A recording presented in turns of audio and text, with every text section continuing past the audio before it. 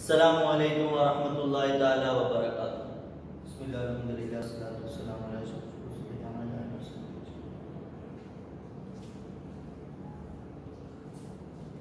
അപ്പോ നമ്മള് നേരത്തെ രണ്ട് വ്യക്തികളുടെ അൻസാരി വാ- വാൽക്കിമി ഓംപ്രകാശ് വാൽക്കിമി എന്ന ഏർ, രണ്ട് വ്യക്തികൾ അനുഭവിച്ച ആ, ത്യാഗ അനുഭവങ്ങളെ കുറിച്ച് നമ്മൾ പറഞ്ഞു അപ്പോ ഇന്ത്യയിൽ അനുഭവിക്കുന്ന ഇങ്ങനെ പല ജാതി അനുഭവങ്ങൾ ഓരോരുത്തരും ഇനീക്വാലിറ്റി അസമത്വത്തിന്റെ പേരിൽ എന്ത് ചെയ്യുന്നു? അനുഭവിച്ചു കൊണ്ടേയിരിക്കുന്നു അപ്പൊ ഇനി അടുത്ത റെക്കഗ്നൈസിങ് ഡിഗ്നിറ്റി മനസ്സിലായോ? അവരുടെ ഓരോരുത്തരുടെയും മഹത്വങ്ങളെ എന്ത് ചെയ്യുക? അംഗീകരിക്കുക. റെക്കഗ്നൈസ് അംഗീകരിക്കുക. റെക്കഗ്നൈസിങ്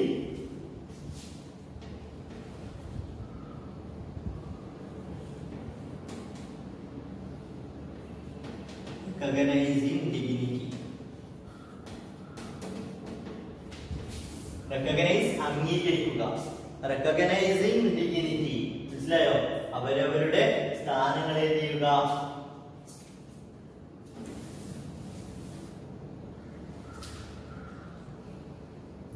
ഇനി റെക്കഗ്നൈസിങ് ഡിഗ്നിറ്റി മനസ്സിലാകുന്നുണ്ടല്ലോ റെക്കഗ്നൈസ് അംഗീകരിക്കുക എന്ത് ഡിഗ്നിറ്റി മഹത്വം. സ്ഥാനങ്ങളെ എന്ത് ചെയ്യുക? ഓരോരുത്തർക്കുമുള്ള സ്ഥാനങ്ങളെ അംഗീകരിച്ചു കൊടുക്കുക. നമ്മൾ ഇവിടെയുള്ള പ്രശ്നം എന്താ?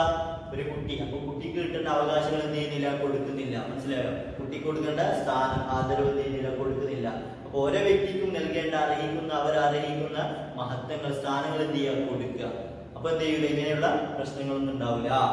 അപ്പൊ റെക്കഗ്നൈസിങ് ഡിഗ്നിറ്റി അവരവരുടെ സ്ഥാനങ്ങൾ എന്ത് ചെയ്യുക? മനസ്സിലാക്കുക. അംഗീകരിക്കുക. യു ഹാവ് അണ്ടർസ്റ്റുഡ് നീ എന്താക്കിയിട്ടുണ്ട്? മനസ്സിലാക്കിയിട്ടുണ്ട്. ബൈ നോ ഇപ്പോൾ നീ എന്താക്കിയിട്ടുണ്ട്? ഓ, മനസ്സിലാക്കിയിട്ടുണ്ട്. എന്ത്? ദാറ്റ് കാസ്റ്റ് കാസ്റ്റ് എന്ത്? Caste we are born into caste എന്ന് പറഞ്ഞാൽ എന്താണ്?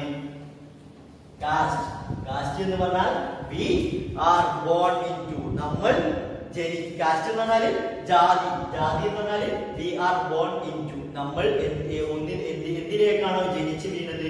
അതാണ് നമ്മുടെ ജാതി. മനസ്സിലായോ?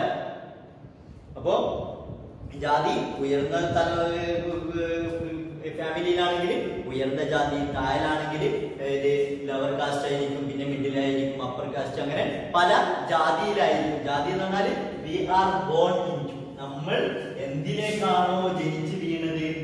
വി ആർ ബോൺ ഇൻ മനസ്സിലായോ? അതാണ് ജാതി. ജാതി നമ്മൾ എന്തിനെ ഏത് തലമുറയിലേക്കാണ് ഏത് രീതിയിലുള്ള കുടുംബത്തിലേക്കാണ് നമ്മൾ ജനിച്ചത്? അതാണ് നമ്മുടെ ജാതി. മനസ്സിലാവും ജാതി താഴ്ന്ന ജാതിക്കാരെ മനസ്സിലാവും അപ്പൊ അവർ ജനിച്ച് വീഴുന്നതാണ് അവരുടെ ജാതി. മനസ്സിലാവും പിന്നെ അത് മാറ്റാൻ പറ്റൂല. അപ്പോ നമ്മൾ ജനിച്ച് വീണ്. അപ്പൊ ജനിക്കുന്നതിന് മുമ്പ് ഏത് ജനിച്ചതിന് ശേഷം അത് നമുക്ക് മാറ്റാൻ പറ്റില്ല കാരണം നമ്മൾ ജനിച്ചതാണ് നമ്മുടെ ജാതി. അപ്പൊ ജാതി ഉണ്ടാക്കാൻ പറ്റില്ല മാറ്റാൻ പറ്റില്ല മതം മാറ്റാം. മനസ്സിലായോ? ദി റിലീജിയൻ മതം എന്ന് പറഞ്ഞാൽ വി പ്രാക്ടീസ് റിലീജിയൻ എന്ന് പറഞ്ഞാൽ വി പ്രാക്ടീസ് നമ്മൾ എന്ത് ചെയ്യുന്നത്? അനുഷ്ഠിക്കുന്നത്. മനസ്സിലായോ?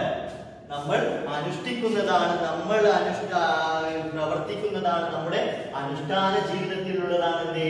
റിലീജിയൻ എന്ന് പറഞ്ഞാൽ മതം നമ്മൾ അനുഷ്ഠിക്കുന്നതാണ്. മനസ്സിലായോ ഇത് നമുക്ക് ഇവിടെ മാറ്റാം. ദി ക്ലാസ് ഗോത്രം എന്ന് പറഞ്ഞാൽ the class background we we come from മനസ്സിലായോ? ക്ലാസ് എന്ന് പറഞ്ഞാൽ വി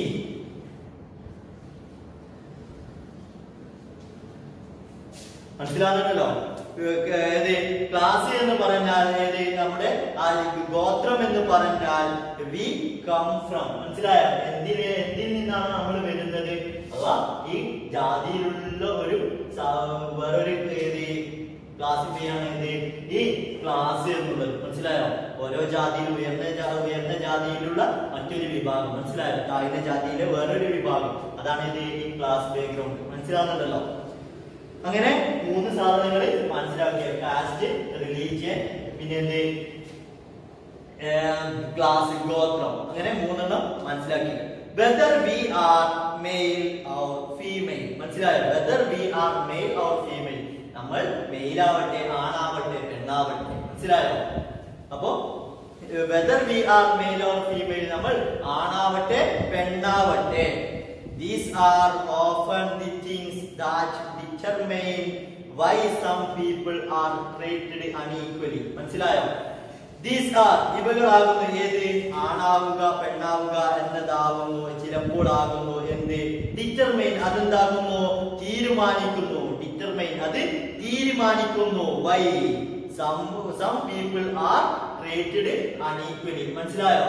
അസമത്വത്തിലൂടെ പെരുമാറപ്പെടുന്നു. അത് അങ്ങനെ അതിന് പരിഗണിക്കപ്പെടുന്ന ചിലപ്പോൾ പരിഗണിക്കപ്പെടുന്ന രണ്ട് സാധനമാണ് ഏത്? മെയിലാണോ ഫീമെയിൽ ആണോ മനസ്സിലായോ? മെയിലാണോ ഫീമെയിൽ ആണോ എന്നത് പരിഗണിക്കപ്പെടുന്നു. എന്തിനെ? അവർക്ക് സമത്വം നൽകാതിരിക്കാൻ. ആണിന് കിട്ടുന്ന അത്ര അവകാശങ്ങൾ ആർക്ക് ലഭിക്കുന്നില്ല? പെണ്ണിന് ലഭിക്കുന്നില്ല. മനസ്സിലായോ? ചിലപ്പോ പെണ്ണിന് കിട്ടേണ്ടത് ആണിന് കിട്ടേണ്ടത് പെണ്ണിന് കിട്ടേണ്ടത് പോലെ കിട്ടുന്നില്ല. മനസ്സിലായോ? അപ്പൊ ആണും പെണ്ണും എന്നത് പരിഗണിക്ക തീരുമാനിക്കുന്നു എന്തിനിക്ക് അവർക്ക് സമത്വം ലഭിക്കാതിരിക്കാൻ. മനസ്സിലാകുന്നുണ്ടല്ലോ? Whether or whether male or female ആണാവട്ടെ പെണ്ണാവട്ടെ സം ചിലപ്പോൾ എന്താകുന്നു? കാര്യങ്ങൾ ഡിറ്റർമൈൻ അത് തീരുമാനിക്കുന്നു. Why some people are treated unequally മനസ്സിലായോ അണീക്വലി എന്ന് പറഞ്ഞാൽ അസമത്വത്തോടു കൂടെ ട്രീറ്റഡ് പെരുമാറപ്പെടുന്നു. മനസ്സിലായോ? അങ്ങനെ പെരുമാറാനുള്ള ചില വസ്തുതകളായി എന്തിനെ പരിഗണിക്കപ്പെടുന്നു? ചിലപ്പോൾ ഈ മെയിലാവുക ആവുക എന്നതിനെ പരിഗണിക്കപ്പെടുന്നു അപ്പോ മെയിലായാലും ഫീമെയിൽ ആയാലും ചിലപ്പോൾ എന്ത് ചെയ്യുന്നു? അസമത്വങ്ങൾ നേരിടേണ്ടി വരുന്നു. പിന്നെ ഓം പ്രകാശ് വാൽക്കിമി ഓം പ്രകാശും ഓം പ്രകാശ് പിന്നെ അൻസാരികൾ മിസ്റ്റർ മിസ്റ്റസ് അൻസാരികൾ ആർ ബീങ് ട്രീറ്റഡ്. അവരെന്ത് ചെയ്തു പെരുമാറപ്പെട്ടിരിക്കുന്നു. എങ്ങനെ? അണീക്വലി അസമത്വത്തോടു കൂടെ. മനസ്സിലായോ? എല്ലാവർക്കും കിട്ടേണ്ട അവകാശം. അപ്പോ ഓം പ്രകാശ് വാൽക്കിമി എങ്ങനെയാണ് അസമത്വത്തോടു കൂടെ അവനോട് പെരുമാറി? അവനൊരു വിദ്യാർത്ഥിയായിരുന്നു ഓം പ്രകാശ് വാൽക്കിമി എന്ന വിദ്യാർത്ഥിയോട് അവനിക്ക് ലഭിക്കേണ്ടതായ അവകാശം ലഭിച്ചില്ല. മനസ്സിലായോ? അവനിക്ക് കിട്ടേണ്ട സ്കൂളിൽ നിന്ന് കിട്ടേണ്ട അവകാശമാണ് എന്ത്? വിദ്യ പഠിക്കാനുള്ള അവസരം അറിവ് പഠിക്കാനുള്ള അവസരം. അത് അവനിക്ക് ലഭിച്ചില്ല. കാരണം അവന്റെ ബാക്ക്ഗ്രൗണ്ട് വീക്കായിരുന്നു മനസ്സിലായോ? അപ്പോ അവനിക്ക് ആ അവകാശം ലഭിച്ചില്ല. മനസ്സിലാവുന്നുണ്ടല്ലോ അപ്പൊ അണീക്വലി എല്ലാവർക്കും ലഭിക്കേണ്ട അവകാശങ്ങൾ അവനിക്കും ലഭിച്ചില്ല. അപ്പോൾ അവൻ എന്ത് ചെയ്തു? മറ്റൊരു രീതിയിൽ കാണപ്പെട്ടു. പിന്നെ അൻസാരി രണ്ട് അൻസാരികൾ മിസ്റ്റർ മിസ്റ്റർ അൻസാരി. അവരെ എങ്ങനെ പെരുമാറി? അവരെ റിലീജിയൻ ബേസ് ആക്കിക്കൊണ്ട് പെരുമാറി. അവർ ഇറച്ചി കഴിക്കുന്നവരാണ് അഥവാ മുസ്ലിമാണ് എന്ന കാരണം കൊണ്ട് അവർക്ക് ലോഡ്ജ് കൊടുത്തില്ല. മനസ്സിലായോ? അവരെ എന്ത് ചെയ്തു? പിന്നെ അൻസാരികളും വേറിട്ടിട്ട് അവരെന്തായി പെരുമാറപ്പെട്ടു? അവരോട് പെരുമാറി അണീക്വലി അസമത്വമായി മനസ്സിലായോ? അല്ല മറ്റൊരാളോട് പെരുമാറുന്ന രീതിയിലല്ല ഇവരോട് പെരുമാറിയിരുന്നത്. എന്ത് എന്ത് basis on the basis of difference of caste and religion അവരുടെ കാസ്റ്റും അവരുടെ ജാതിയും അവരുടെ മതവും അടിസ്ഥാനമാക്കിക്കൊണ്ട്. മനസ്സിലായോ? On the basis of difference അവരുടെ അടിസ്ഥാന എന്തിന്റെ അടിസ്ഥാനത്തിൽ? Basis of difference of religion and caste അവരുടെ മതവും പിന്നെ ജാതിയുടെയും വ്യത്യസ്തം അനുസരിച്ചുകൊണ്ട് അവരോട് എന്ത് ചെയ്തു? വ്യത്യസ്തമായിക്കൊണ്ട് അസമത്വം സമത്വം ലഭിക്കാതെ അസമത്വത്തോടു കൂടെ പെരുമാറി മനസ്സിലാകുന്നുണ്ടല്ലോ? When person are treated മനസ്സിലായോ? When persons are treated in unequally മനസ്സിലാകുന്നുണ്ടല്ലോ? അസമത്വത്തോടു കൂടെ മറ്റൊരാളോ വ്യക്തികളോട് പെരുമാറുമ്പോൾ when persons are treated unequally അസമത്വത്തോടു കൂടെ പെരുമാറുമ്പോൾ പെരുമാ ഓരോരോ ഓരോരോ വ്യക്തികളോടും പെരുമാറുമ്പോൾ their dignity അവരുടെ മഹത്വം. ഈസ് വയലേറ്റഡ് അതെന്താകുന്നു ഭംഗം വരുത്തുന്നു. അവരോടുള്ള ഡിഗ്നിറ്റിക്ക് എന്ത് ചെയ്യുന്നു? ഡിഗ്നിറ്റിക്ക് മഹത്വ കോട്ടം വരുത്തുന്നു. അവരുടെ അവരുടെ ഡിഗ്നിറ്റിക്ക് എന്താകുന്നു? അത് വയലേഷൻ ആകുന്നു. മനസ്സിലാകുന്നല്ലോ വയലേഷൻ എന്ന് പറഞ്ഞാൽ കടന്നു കയറ്റം അവർക്ക് ലഭിക്കേണ്ട മഹത്വം ആദരവ് സ്ഥാനത്തിനോടുള്ള ഒരു കടന്നു കയറ്റമാണ് ഏത്? അവർക്ക് ലഭിക്കുന്ന ഓരോരോ അസമത്വങ്ങളും. മനസ്സിലാകുന്നല്ലോ അപ്പം അസമത്വത്തിലൂടെ എന്ത് മനസ്സിലാക്കാം? അവർക്ക് ലഭിക്കേണ്ട മഹത്വം സ്ഥാനം അതിനെന്താകുന്നു കോട്ടം വരുത്തലാകുന്നു മനസ്സിലായോ? അപ്പോ ഓം പ്രകാശ് വാൽക്കിന്റെ ഉദാഹരണം എടുക്കാം. അപ്പോ അവനെ എന്ത് ചെയ്തു? സ്കൂളിൽ നിന്ന് പഠിക്കേണ്ട സമയത്ത് മുറ്റമടിച്ചു വാരാൻ അവിടുത്തെ പ്രധാന അധ്യാപകൻ തീരുമാനിക്കും. അങ്ങനെ അവനെ അത് ചെയ്യിപ്പിച്ചു. മുറ്റമടിക്കാനും ഇത് ക്യാമ്പസ് വൃത്തിയാക്കും അവനെ ചുമതലപ്പെടുത്തുന്നു. എന്നിട്ട് അതെന്താണ്? ഓം പ്രകാശ് വാൽക്കിനി എന്ന സ്റ്റുഡന്റിന്റെ ഡിഗ്നിറ്റി മനസ്സിലായോ? ആ കുട്ടിക്ക് ലഭിക്കേണ്ട മഹത്വം. മനസ്സിലായ? സ്ഥാനം. അതിനെ എന്താകലാണ്? അത് ചൂഷണം ചെയ്യലാണ് വയലേഷൻ ആണ് മനസ്സിലാവുന്നുണ്ടല്ലോ? അക്രമം ആക്രമിക്കലാണ്. മനസ്സിലാവുന്നുണ്ടല്ലോ? അപ്പോ ഓരോരുത്തർക്കും അസമത്വത്തോടു കൂടി ഓരോരോ വ്യക്തികളോട് പെരുമാറുമ്പോൾ അവരുടെ സ്ഥാനത്തെ എന്താണ്? അത് വയലേറ്റ് ചെയ്യലാണ് കടന്നാക്രമിക്കലാണ്. ദി ഡിഗ്നിറ്റി ഓഫ് ഓംപ്രകാശ് ബാൽക്കിമി ആൻഡ് അൻസാരിസ് വാസ് വയലേറ്റഡ് അപ്പോ ഓ, അൻസാരികളുടെയും പിന്നെ ആരുടെയും ഓംപ്രകാശ് ബാൽക്കിമിയുടെയും സ്ഥാനങ്ങൾ അവർക്ക് അർഹിക്കുന്ന അഭിമാനം എന്താക്കി അവിടെ പിച്ച് ചീന്തപ്പെട്ടു. ബിക്കോസ് കാരണം ബിക്കോസ് ഓഫ് ദി വേ ഒരു രീതിയിൽ ദേ ഏത് രീതിയിലാണ് അവരുടെ അഭിമാനം അവിടെ കളങ്കപ്പെടുത്തിയത്? ആ ഒരു രീതിയിൽ.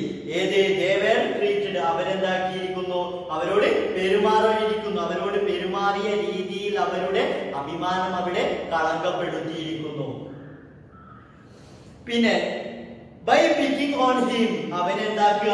കുറ്റം കാണുക. പിക്കിംഗ് ഓൺ എന്ന് പറഞ്ഞാൽ കുറ്റം കാണുക. ഓൺ പിക്കിംഗ് ഓൺ ഹിം അവനെ അവന്റെ കുറ്റങ്ങൾ കണ്ടു.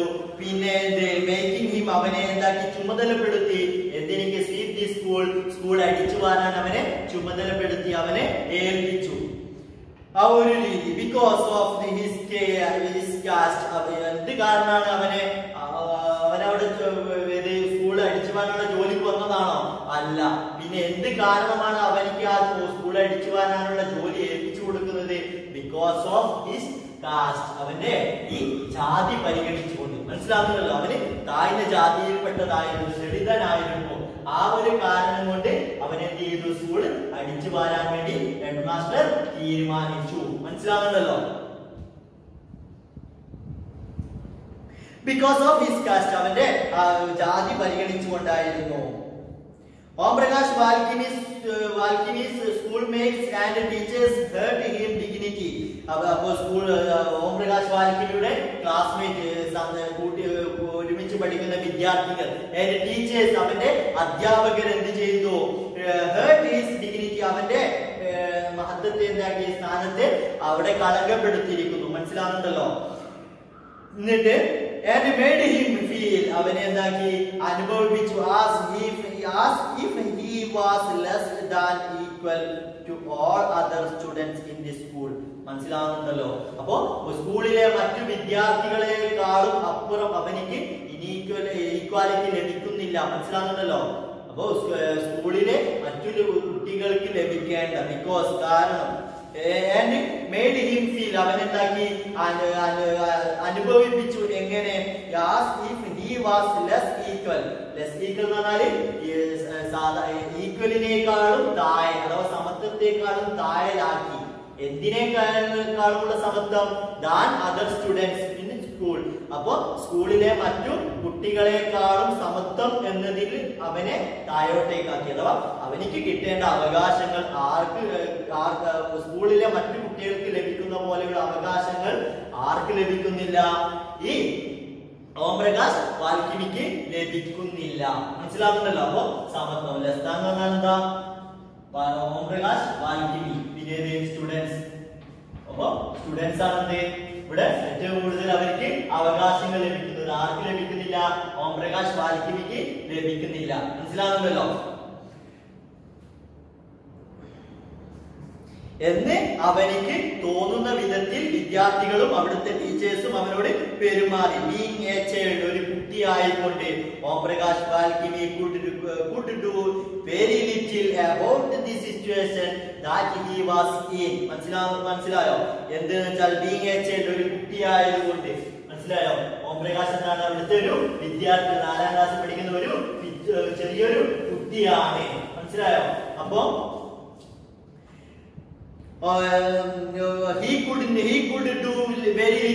മനസ്സിലായോ അപ്പോ വെരി ലിറ്റിൽ കൊണ്ട് ഉദ്ദേശിക്കുന്നത് എന്ത് എത്തി നെത്തി ഒന്നു മനസ്സിലായി ഈ കൂട് വെരി വെരി ലിറ്റിൽ അഥവാ ഈ കുഡ് നെത്തിങ് അവനിക്ക് ഈ കൂട് ഡു നത്തിങ് അവനിക്ക് ഒന്നും ചെയ്യാൻ സാധിക്കുകയില്ല. അബൌട്ട് ദി സിറ്റുവേഷൻ അവന്റെ ഈ അവസ്ഥയിൽ എന്താണ് അവസ്ഥ? ചൈൽഡ് മനസ്സിലായ ഒരു കുട്ടിയായ അവസ്ഥയിൽ. ആ കുട്ടിയായ അവസ്ഥയിൽ അവനിക്ക് കൂട് ഡു നത്തിങ് ഒന്നും ചെയ്യാൻ സാധിക്കുന്നില്ല. മനസ്സിലായോ?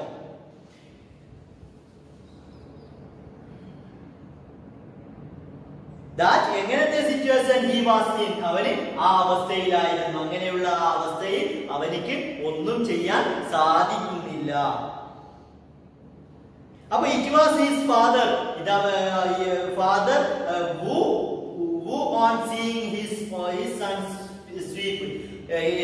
അപ്പോ ഈ അവസ്ഥയിൽ എന്ത് ചെയ്യുന്നു? അവന്റെ അച്ഛൻ അവനെ തന്റെ മകനെ കാണുന്നു. എങ്ങനെ? സ്വീപ്പിംഗ് അടിച്ചു വാരുന്നതായി തൂത്തുവാരുന്നതായി തന്റെ മകനെ പിതാവ് കാണുന്നു. അങ്ങനെ felt angry by by by unequal treatment unequal treatment angry ദേഷ്യപ്പെട്ടു. എന്ത് കാരണത്താൽ? ബൈ ദിസ് അനീക്വൽ ട്രീറ്റ്മെന്റ് എല്ലാവർക്കും ലഭിക്കേണ്ട തുല്യ പരിഗണന ആർക്ക് ലഭിക്കുന്നില്ല? എന്റെ മകനിക്ക് ലഭിക്കുന്നില്ല എന്ന കാരണം കൊണ്ട് പിതാവ് ദേഷ്യപ്പെട്ടു. ആൻഡ് കോൺഫറന്റഡ് ടീച്ചേഴ്സ് ടീച്ചേഴ്സിനോട് എന്ത് ചെയ്തു അവർ? നന്നായി പെരുമാറി ശകാരിച്ചു മനസ്സിലായ തർക്കത്തിൽ ഏർപ്പെട്ടു എന്നിട്ട് ധ്യാൻ അങ്ങനെ അവിടെ അവ- ആരുടെ ഓംപ്രകാശ് വാൽക്കിയുടെ കഥ അവിടെ തീരുന്നു. സ്കൂളിൽ നിന്ന് മകന്റെ കൈ പിടിച്ചുകൊണ്ട് അച്ഛൻ ഇറങ്ങി വരുന്നു.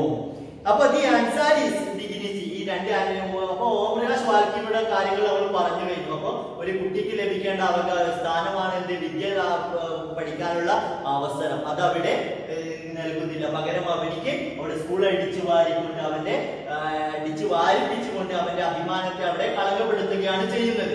ഇനി അൻസാരി. ഈ അൻസാരികളുടെ കഥയിലേക്ക് വരുമ്പോൾ അവരുടെ ആ മഹത്വം അഭിമാനം വാസ് ആൾസോ ഹേർട്ട് അവരെന്താ അഭിമാനം അവിടെ വ്രണപ്പെടുത്തിയിരിക്കുന്നു. എങ്ങനെ? When person refused to lease their their apartment their apartment to them. അപ്പോ ഈ ഏത് ആ ഹോസ്റ്റൽ അപ്പാർട്ട്മെന്റ് നടത്തുന്ന ഒരു ലേഡി എന്ന് പറഞ്ഞു. ലാൻഡ് ലേഡി അപ്പൊ ആ ലാൻഡ് ലേഡി ഇവർക്ക് അവരുടെ ആ ലാൻഡ് ലേഡിയുടെ അപ്പാർട്ട്മെന്റ് ഇവർക്ക് ലീസ് എന്ന് പറഞ്ഞാൽ വാടക കൊടുക്കാം. വാടക കൊടുക്കാൻ എന്ത് ചെയ്തു? റിഫ്യൂസ് എന്ത് ചെയ്തു? നിരസിച്ചു. റിഫ്യൂസൽ എന്ത് ചെയ്തു നിരസിച്ചിരിക്കുന്നു. എന്തിന് ഗെറ്റ് ലീസ് വാടക കൊടുക്കാൻ നിരസിച്ചിരിക്കുന്നു. അപ്പോ ടു ദം ഹൗവർ എങ്ങനെയായാലും when പ്രോപ്പർട്ടി ഡീലർ suggested എങ്ങനെ അപ്പോ വെണ്ടി ഡീലർ പ്രോപ്പർട്ടി ഡീലർ അപ്പോ ഇവരൊരു സ്ഥലത്ത് പോയി അങ്ങനെ ഒരു പ്രോപ്പർട്ടി ഡീലറുമായി കൂടിക്കാഴ്ച നടത്തി അങ്ങനെ പ്രോപ്പർട്ടി ഡീലറുമായിട്ടാണ് ഇവരെന്ത് ചെയ്യുന്നത് പോകുന്നത് ഈ അപ്പാർട്ട്മെന്റിലേക്ക് അപ്പൊ പ്രോപ്പർട്ടി ഡീലർ ഈ അവസ്ഥ കണ്ടിട്ട് അവരോട് എന്ത് ചെയ്തു? സജസ്റ്റഡ് അവരോട് നിർദ്ദേശിച്ചു. എന്തിനിക്ക് ടു ചേഞ്ച് അവരുടെ പേരൊന്ന് മാറ്റണം. ഒന്ന് കുമാർ എന്നാക്കണമെന്ന് സജസ്റ്റ് ചെയ്തു. അപ്പോൾ ഇറ്റ് വാസ് ദ ഡിഗ്നിറ്റി അവരുടെ ഇതൊരു അവർ അവരോടുള്ള ഡിഗ്നിറ്റി മഹത്വമാണ്. അവർ സെൽഫ് റെസ്പെക്ട് അല്ലെങ്കിൽ ആത്മാഭിമാനമാണ്. സെൽഫ് റെസ്പെക്ട് എന്ന് പറഞ്ഞാൽ സ്വന്തം നെഫ്സിനോടുള്ള സ്വന്തം ശരീരത്തോടുള്ള സ്വന്തം അഭിമാനത്തോടും അഭിമാനത്തോടുള്ള റെസ്പെക്ട് മനസ്സിലായി? എന്താ പറയാ? സെൽഫ് റെസ്പെക്ട് അപ്പൊ അവരുടെ സെൽഫ് റെസ്പെക്ട് അല്ലെങ്കിൽ അവരുടെ മഹത്വം ദം അവരെ ആക്കി റിഫ്യൂസ് ദിസ് സജസ്റ്റൻ ഈ കുമാർ എന്ന പേര് സ്വീകരിക്കണം എന്ന നിർദ്ദേശം സജസ്റ്റൻ എന്ത് ചെയ്തു? അവിടെ അവർ സ്വീകരിച്ചില്ല. അത് നിരസിച്ചു റിഫ്യൂസ് ചെയ്തു. മനസ്സിലായി? അപ്പൊ അവരെ റിഫ്യൂസ് ചെയ്തത് അവരുടെ മഹത്വം. അവർക്കൊരു മഹത്വമുണ്ട്. ആ മഹത്വം അവരെ ചെയ്യൂ അവരെ ഈ കുമാർ എന്ന പേര് സ്വീകരിക്കലിനെ അവരെ തടഞ്ഞു നിർത്തി. ഓം പ്രകാശ് എന്റെ അൻസാരി ഓം പ്രകാശും അൻസാരിയും do not deserve to be treated like this അപ്പോ ഈ ഓം പ്രകാശ് വാൽക്കിന് രണ്ട് മിസ്റ്റർ ബിസിനസ് അൻസാരികളും എന്താണ്? ഡിസർവ് അവർ ഡു നോട്ട് ഡിസർവ് അവർ അർഹിക്കുന്നില്ല ടു ബി ട്രീറ്റഡ് ഇങ്ങനെ ടു ബി ട്രീറ്റഡ് ലൈക്ക് ഇത്തരം രീതിയിൽ പെരുമാറാൻ അവർ ആഗ്രഹിക്കുന്നില്ല. കാരണം എന്താ? അവർക്ക് ഓരോരുത്തർക്കും അവരുടേതായ വാല്യൂ ഉണ്ട് ഡിഗ്നിറ്റി ഉണ്ട്. മനസ്സിലായോ? അപ്പോ ആ ഡിഗ്നിറ്റി വെച്ചുകൊണ്ട് അവരെ ഒരിക്കലും ഇങ്ങനെ പെരുമാറേണ്ട ആളുകളായിരുന്നില്ല. ഓം ഈ അൻസാരികളും. ദേ ഡിസർവ് അവരെന്ത് ചെയ്തു? പെരുമാറി. ദി സെയിം റെസ്പെക്ട് അവർ അർഹിക്കുന്നു? ദി സെയിം റെസ്പെക്ട് ഡിസർവ് ആഗ്രഹിക്കുക. ഡിസർവ് ആഗ്രഹിക്കുക. ആഗ്രഹിക്കുന്നു ദേ ഡിസർവ് അവർ ആഗ്രഹിക്കുന്നു ദി സെയിം റെസ്പെക്ട് തുല്യാവകാശം തുല്യ പരിഗണന തുല്യ ബഹുമാനം ഡിഗ്നിറ്റി മഹത്വം ആസ് എനിവൺ എൽസ് മറ്റു എല്ലാവരെയും പോലെ ഇവരും എന്ത് ചെയ്യുന്നു? എനിവൺ എൽസ് മറ്റു എല്ലാവരെയും പോലെയും ഇവരും തുല്യ സ്ഥാനവും തുല്യ ഡിഗ്നിറ്റിയും തുല്യ റെസ്പെക്റ്റും എന്താവുന്നു? അർഹിക്കുന്നു. പക്ഷെ അവരുടെ റിലീജിയൻ അവരുടെ റിലീജിയനും പിന്നെ അവരുടെ കാസ്റ്റും പരിഗണിച്ചുകൊണ്ടാണ് അവരെ ഇത്തരം രീതിയിൽ പെരുമാറിയിരുന്നത്. മനസ്സിലായി? മുസ്ലിം ആയതുകൊണ്ട് ആരെ അൻസാരിയോട് അങ്ങനെ പെരുമാറി കാരണം മറ്റേ ലാൻഡ് ലേഡി ഒരു നൺ മുസ്ലിം ആയിരുന്നു പിന്നെ കാസ്റ്റ് പരിഗണിച്ചുകൊണ്ട് ഓംപ്രകാശിനോടും അങ്ങനെ പെരുമാറി. മനസ്സിലാവുന്നുണ്ടല്ലോ?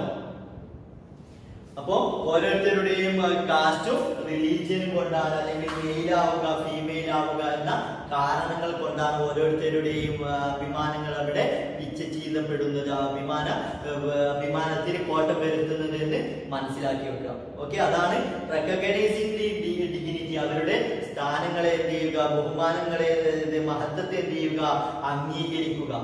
അപ്പൊ ഓരോരുത്തർക്കും ലഭിക്കേണ്ട അവകാശങ്ങൾ എന്താണ്? തുല്യാവകാശങ്ങൾ എല്ലാവർക്കും നൽകുക. ഓക്കെ അപ്പൊ എന്തെങ്കിലും സംശയം ചോദിക്കാം അസ്സലാമു അലൈക്കും വറഹ്മത്തുള്ളാഹി